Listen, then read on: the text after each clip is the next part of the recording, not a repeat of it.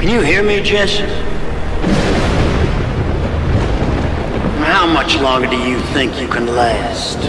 And now you're gunning for me to strike at the head of the snake. Don't keep me waiting. There's only one way out of this. Through me. You the cruise director?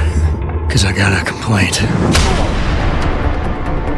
Entering restricted areas will result in termination and prosecution. What can you tell me about this base?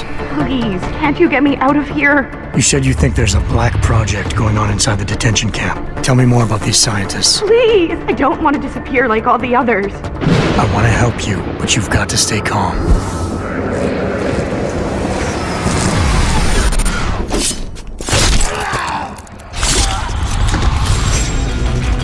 I thought possibly to recruit you, I could have used you. All you've done is make yourself a target. That's your problem, not mine.